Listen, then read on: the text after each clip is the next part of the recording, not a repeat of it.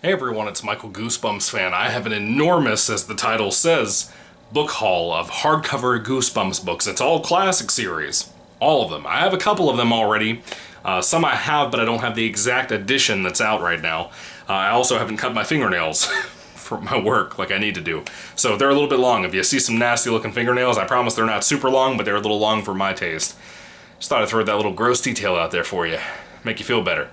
Anyway, happy Tuesday. Um, I have a bunch of these, man. I didn't know I was getting as many as I was in this particular haul. I bought a particular lot of books on eBay, and I didn't realize there was 32 in this pack. I think there's 32 or 30, something like that. But there's a lot of Goosebumps hardcovers in here. Pretty much half of the old classic hard or the old classic Goosebumps series from the 90s that pretty much popularized this R.L. Stine book series uh, yeah, lots of cool ones here. Really, really excited to show you. There's a couple of them I'm really stoked I thought I'd never ever get or ever see in hardcover form or anything. And of course, you can also call these library editions because they're what people had for the library copies because they're a little bit more durable than a paperback book. So that's pretty cool. The first book here is one that everybody keeps talking to me about. There's one of my friends named Grayson the Goosebumps Kid, or Goosebumps fan. Uh, Grayson always talks about this book. He's recommended this book to me a thousand times over. I need to get around and read it at some point. By the way, I'm also sorry about slowing down on the, on the Mummy Marathon. the Mummy Marathon is kind of slowing down because I have so much going on right now. I haven't made any videos on my other channels either just because everything's been so hectic. It's been a nightmare, man. There's been so much going on with my family and yeah, lots of crazy stuff. So please forgive me for the Mummy Marathon taking forever to get videos out for you guys. I want to apologize for that, sincerely. But uh, anyway, let's get into the book haul. There's a lot of stuff here to show you. I'm going to try to get through them quicker because I don't want to spend a half an hour video talking about all this stuff at one time. Uh, some of these I've read, a big chunk of them I have not, so please avoid spoilers in the comments for me. Anyway, the first book is the one Grayson always recommends to me, A Night in Terror Tower. I love this reissue hardcover copy that came out back in the day that has this orange border on it. It's just beautiful. I mean, I really, really dig that. And of course, the Executioner looks really cool here too. Uh, these books are all from like the 90s. They have like yellow pages and some of them have pages that have been torn out before that they had to like literally tape into the book again. But again, for like 30 bucks for all of these books, I mean, that's a pretty good deal. It's about a dollar a book. A little bit less than that actually. But uh, fantastic deal for what I got in this bundle. And there was one time where I got a bundle of Goosebumps books that were hardcover library editions, and some of the books were so stiff in the spine that you couldn't open the book and actually read them comfortably. I want to let you know I looked through every single one of these books and not a single one of them are like that either. So I don't know what happened with the first book lot I got a while back, but uh, these are not like that. This one is another one I enjoyed quite a bit. Uh, it wasn't amazing, but it was pretty good for what it was. Why I'm Afraid of Bees. Yeah, reissue copy once again that has the yellow border on it. Pretty cool looking. Gotta love this old Tim Jacobus artwork. Good stuff. Uh, I did not know this first book was in here. I know the second book is in here, but this is the first book, Deep Trouble. Again, reissue cover. Some of these are reissues, some are not when it comes to the color scheme, because back in the day they had like a white border around them. They were the Signature series or whatever they were called. I've shown a couple of those. I have a Go uh, Ghost Camp copy of the original hardcovers that came out, but these are from the reissue times like the early 2000s. So uh, it's pretty cool, man. Somebody had a full-blown like collection here. I, I think from looking at the back of these, these came from the same school system that got rid of them. So I don't know if somebody that used to work there stole all of these, or, or if the school got rid of them and gave them to somebody, and then somebody gave them to me. I don't know. I don't know what happened here, but I'm really stoked about it. Uh, this book here, one of the worst Goosebumps books ever, My Hairiest Adventure. It was silly and had some fun moments to it that were kind of goofy. It was much more enjoyable than the horrible TV episode adaptation of this from the 90s. But uh, the book is not great. Even this disgusting looking poop brown color. Why would you pick that for your book? Oh, so awful looking. Uh, a lot of people's favorite. I really love this one until the ending. I've always said that. The ending has always rubbed me in this weird wannabe Twilight Zone type way. I love the Twilight Zone, so I know when it works and when it does not work. Because Twilight Zones hit many, many variable, varying versions of itself when Serling was involved and when Serling was not involved that showed how desperately Twilight Zone needs Serling. But anyway, this is Welcome to Camp Nightmare. Uh, I think I have a copy of this in hardcover already. Some of these I do think I already own, at least maybe the same exact copy. I don't think I have the exact same thing as this one, but I have something that looks just like this. Uh, but anyway, I've read this, pretty good. Just don't like the ending all that much. The, the last, like, big plot twist in the final page. Very, very goofy. Uh, one of my big time favorites, Welcome to Dead House, which is the first book ever from Goosebumps, the first one ever published and ever put out into the public in the 90s. I think it was 1992 when the first Goosebumps book came out, which is this. So, a hardcover copy of this. I was thinking about buying a hardcover copy of this, but I didn't want just the newer versions, you know, um, uh, hardcover copy. So, I'm glad to have this. This is pretty sick to have as part of my collection since I really enjoyed this book. That's a pretty scary book, honestly. Especially the, the one particular scene with the stadium. Ugh. Uh, this book here was one of the ones that I bought this book lot immediately for, and I was dumbfounded to find this. I can't believe how decent the condition is on this. It has a little bit of a rugged corner or two, but man, it looks great. Haunted Mask, the purple cover and everything, man. It is just a beautiful reissue copy of Haunted Mask in hardcover library edition. I never thought in a million years I'd find Haunted Mask on a hardcover copy. That just baffled me when I saw this the other day. Uh, I'm so thankful again to the person who sent me all of these in the mail. Thank you so much for this awesome haul I got to buy off of you. Great collection parts for my collection. I'm pretty stoked about all these. Uh, Deep Trouble 2, I talked about having the first one in here. I did not know the first one was in this collection of books, but now I have Deep Trouble 2 in hardcover, which I really dug. I like this more than the first book. I have a, I have a fear of fish, for anybody who doesn't know. Uh, I don't like being out in ocean water and stuff, and this this has some really spooky stuff in there if you're afraid of fish. So, check that one out. Uh, the Girl Who Cried Monster, one that everybody recommends to me as well, and I've never read it. I plan on reading it at some point, but it's going to be a while till I get around to it. Again, hectic, hectic, hectic summertime. But uh, Girl Who Cried Monster looks pretty great. Heard some really wild stuff about that book from people like Goosebumps Ozzy fan on YouTube. Now, these two, I'm very, very excited for. I never thought in a million years I'd be able to get my hands on these, and God allowed it, so I'm really stoked. I bought the first book of this three-book series from the old classic Goosebumps series. One of my favorite villains, if not my very favorite villain of all time, from Goosebumps or anything for that matter. Uh, I have the first hardcover in large print and in smaller print of Not a Living Dummy.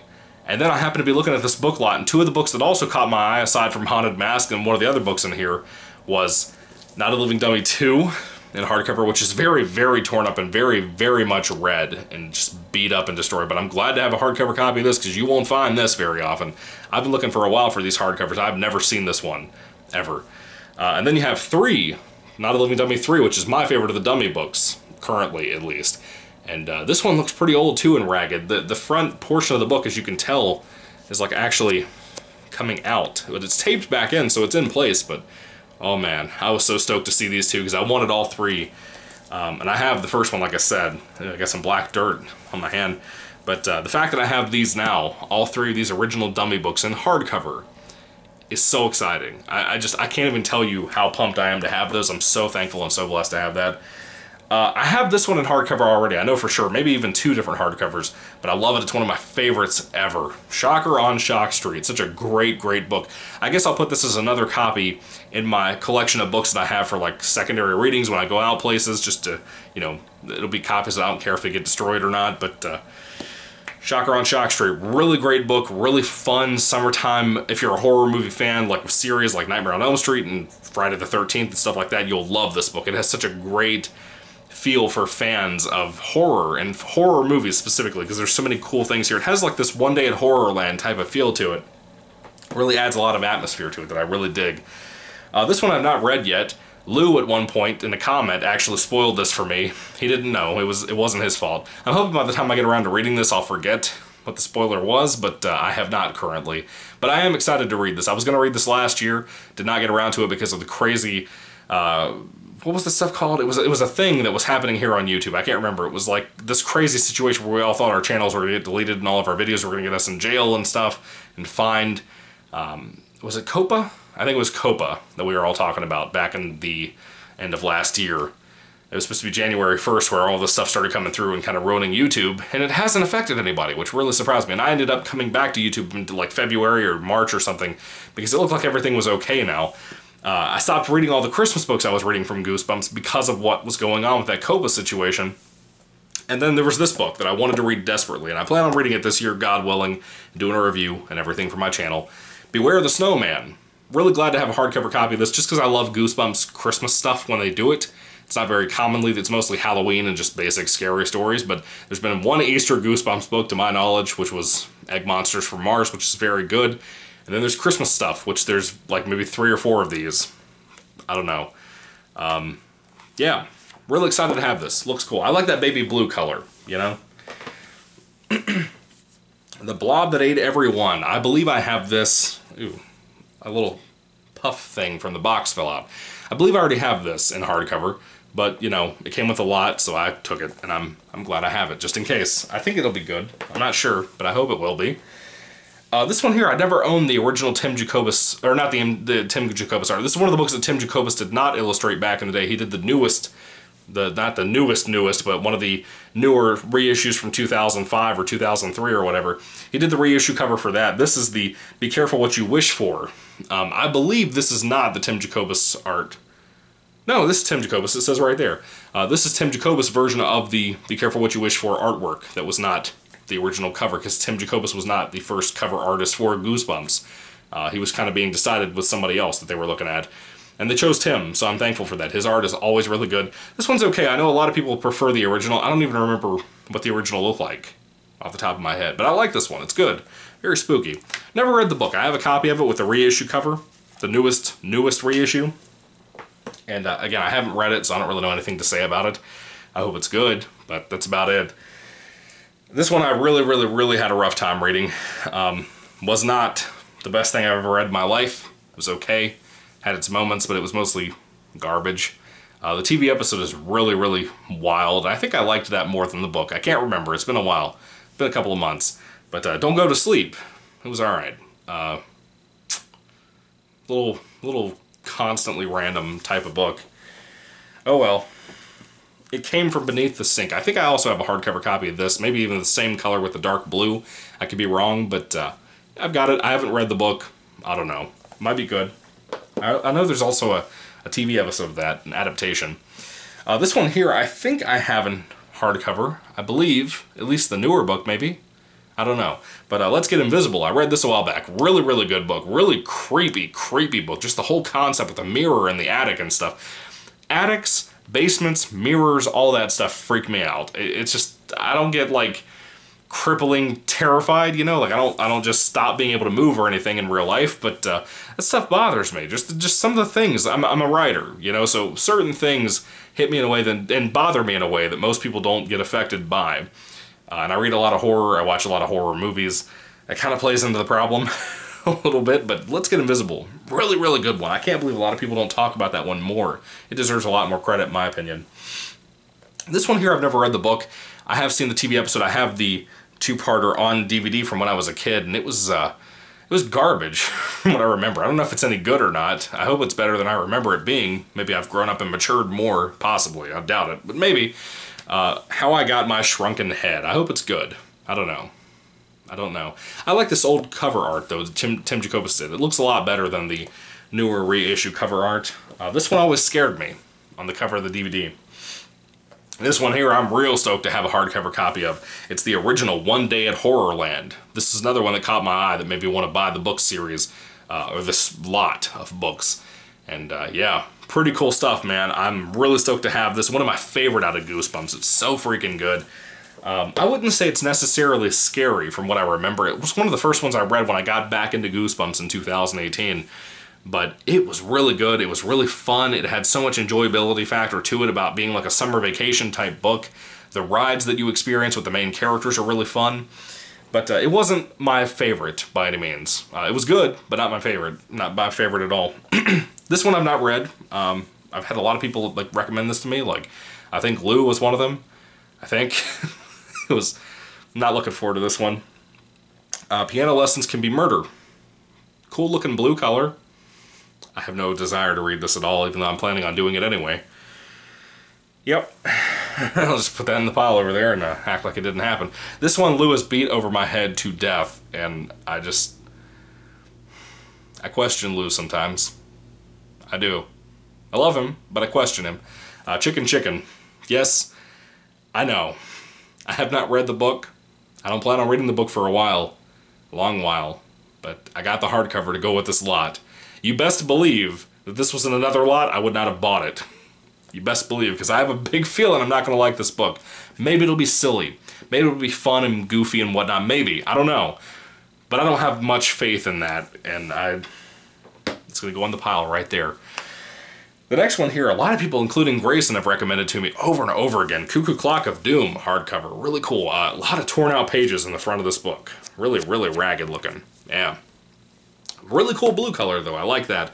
I hope this is good. This is one of the only books I ever found in a thrift shop. Not this particular copy, but the paperback copy I have when I was collecting still. Um, it was around the time that I made that video on my channel of me ranting about where are all the Goosebumps books. It was a big old rant of mine, and that video was like 17 minutes long of me rambling. That was the day that I actually went to, or around the days that I went to, and I found this book, the paperback copy of this book, in a thrift book in a, in a thrift shop lo locally. We don't we don't have a whole lot of stuff in our thrift shops. Uh, they don't usually just have books. So I was irritated over that, I'm glad I at least had a copy of this that I found somewhere because most places aren't carrying anything at all. It's a shame. One of my newer favorites that I found recently was Revenge of the Lawn Gnomes. Really love that. I have a paperback, or I have a hardcover and paperback copy of all the different versions, but now I have this. I recently got in the newest reissue cover as a hardcover library edition. It was cheap. It was on sale for like five bucks, but I got that, and now I have this one, the reissue cover. So uh, that's pretty cool. I pretty much have every, every version of hardcover and paperback for Revenge of the Lawn Gnomes. That's pretty cool. I, I really dug this book. It's one of those books like Not a Living Dummy and Not a Living Dummy 3 and 2 and, you know, books like that that I really love and just have every exception to buy everything I see of it just because I want every part of it. And this is another one of those too that I was really shut. I was could not believe that this was in the collection lot as well because it's one of my favorites. I can't believe people don't like this book. Ghost Beach. Oh man. Oh man. This book is in such good condition for what it is. I love Ghost Beach. If you've not read this, you are missing out. Do not listen to people tell you this book is bad. Give it a chance. Check it out yourself. It is a freaking good Goosebumps book. I don't know why people hate this so much. It is slow, but it has this urban legend feel. I always like to talk about that when it's in a Goosebumps book. This very urban legend myth feel to it that works so well. Ghost Beach is so great. I don't care what people say. You guys are haters. Uh, I'm just messing with you. Uh, here's one that I do not care about having a hardcover copy of, but I guess I have two now. I believe, I think. Uh, Monster Blood. Mm, that's real bad. Real, real bad. Look at the pages, man. They're just destroyed. A lot of these books are, but they're old, and they came out of the 90s. They were library copies. It doesn't surprise me that they would be destroyed and be messy. This one here I'm not excited to read either. I like vampires when they're done like this, but I mostly stick more towards like the Lost Boys vampires. If you've seen that film, it's fantastic. If you're missing out, if you haven't. Um, Vampire Breath. Not really looking forward to this. Uh, I have a paperback paperback copy, but uh, I don't care that much about owning it. It came in a lot. Put it in the stack right over there.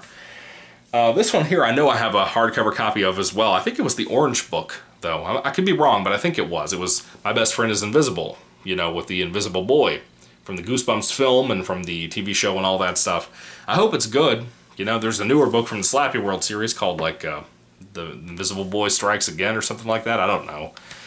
I hope it's good. Uh, this one here, a lot of people love. I think the cover is way, way, way better than the actual story itself. It's one of the first ever Goosebumps books I got from my grandmother on my my dad's side, excuse me. Um, and this one really baffled me. It was one of the two books like Legends of, Legend of the Lost Legend that my grandmother on my dad's side, like I said, got for me when I was a kid. All of my cousins and I were getting introduced to Goosebumps, and this is one of the first two that I got. Uh, Curse of Camp Cold Lake. Really, really, really spooky, creepy, terrifying looking cover. If I ever had to do a list of my top, like, 10 Goosebumps covers of all time, this would be up there. This is scary. This is one of those covers like Not a Living Dummy, the original Dummy book that has just one of those covers that Tim Jacobus came up with, and I don't even know what kind of sicko could come up with this for kids. It was, the, again, the story is not really scary. The story has its moments. It has some interesting, very controversial things I could see being a problem for children's fiction, but that cover, that cover spooky. This book here, oh man, I did not think I was ever going to get a copy of this, and the original cover and everything, or reissue cover for hardcover library edition or anything like that. It's late, that's why I'm slurring my words, by the way. Uh, Attack of the Jack-O-Lanterns. Oh man, when I saw this on the page for eBay, I, I immediately clicked buy. I didn't see much of anything else in the copy collection lot listing, but I saw this, And I grabbed it as soon as I realized it was a hardcover copy because I was stoked. You will not see very often uh, Attack of the Lawn or Attack of the Jack O' Lanterns as a hardcover copy. Really cool. Really, really cool. There's two more here. Uh, two, well, one that's my favorite, and the other one I have not read yet, but I've seen the TV episode and I liked it a lot. Uh, this one is one of my favorites ever, and I've collected a lot of the hardcovers, a lot of the paperback versions of this. I'm like the only person on the planet that loves this book. It's You Can't Scare Me. It's one of those books like Ghost Beach that I adore and love, and nobody else seems to like it. It's a shame. It's a shame because You Can't Scare Me is great. I'm really excited to have this reissue cover copy for hardcover because it's that light blue reissue copy from like 2003 or 5 or whatever. I love You Can't Scare Me. It's one of my favorite urban legend feeling type Goosebumps books. It's so good and so underrated. No one gives this book the credit it deserves. It's a shame. But uh, yeah, now I have that. I'm really stoked about having that in the collection. And the final book here is one that everybody recommends to me all the time. Uh, I have not read it. I've seen the TV episode, like I said. But it is what it is. Uh, I hope the book is good. There's a lot of books. There's like three of these books now. Yeah, there's three. Uh, Say Cheese and Die. Hardcover copy. It's pretty cool having that. I'm glad to have it part of my collection. But that's really it, guys. I don't have anything else to show you or talk to you about. Um, that's pretty much it.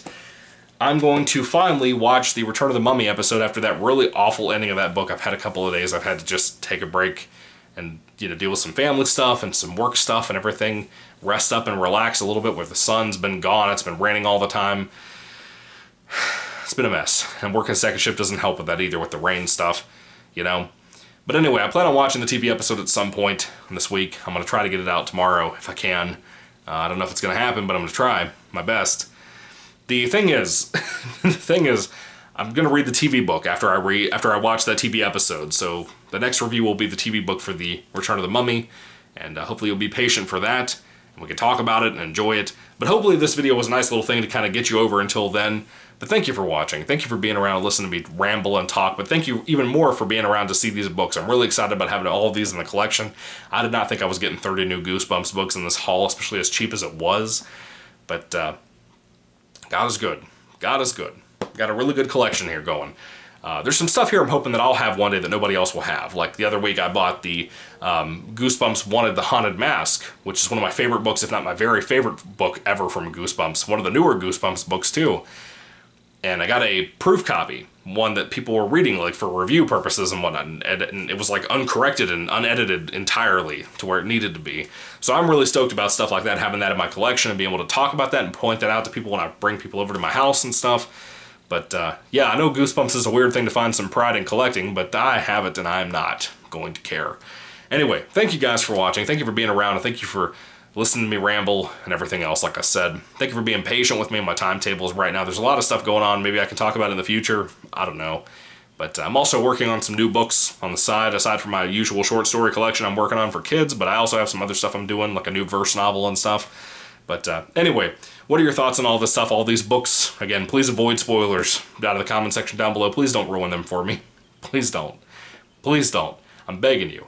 Anyway, may the Lord Jesus Christ bless you guys today, and uh, goodbye.